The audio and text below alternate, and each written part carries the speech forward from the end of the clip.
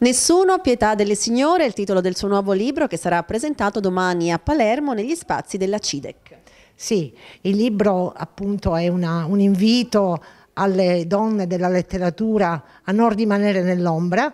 Eh, dice, infatti è citata anche Virginia Woolf nella, nel suo famoso saggio Una stanza tutta per sé, in inglese Room of One's Own,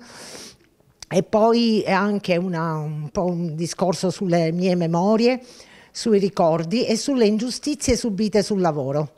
che sono state molto gravi e mi hanno procurato anche un incidente non indifferente. E, e, e comunque, al di là di tutto, eh, questo libro è, è, importante per la varietà dei registri eh, che, che sono contenuti, infatti ci sono alcuni tratti prettamente poetici, altri legati appunto al flusso di coscienza ed altri invece sono eh, pre prevedono una satira piuttosto pungente anche, ehm, che spero non ferisca, ma sicuramente che faccia prendere coscienza alla maniera joysiana